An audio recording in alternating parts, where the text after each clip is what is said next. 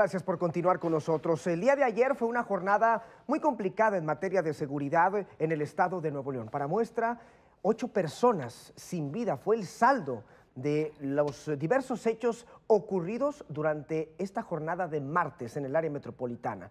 Adelante Fabricio, nos presentas todos los detalles. Buenas tardes.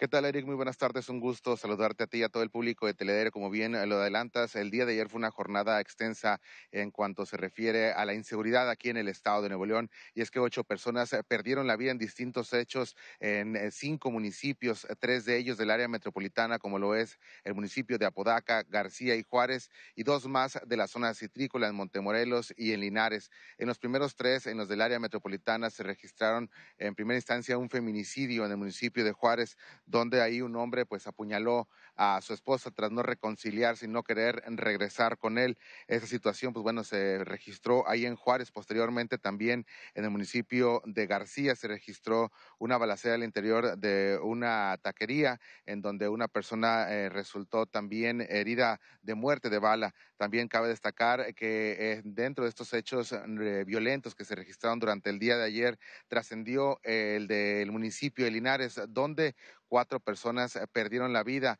esto tras un enfrentamiento de civiles armados eh, contra elementos de fuerza civil. Ahí en este municipio fue que de los elementos de seguridad pública, eh, dejando como saldo final cuatro personas, cuatro civiles armados.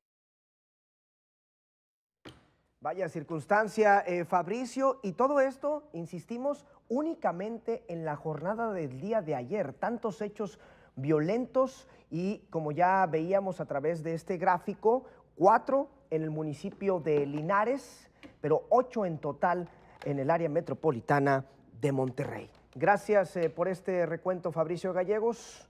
Muy buenas tardes.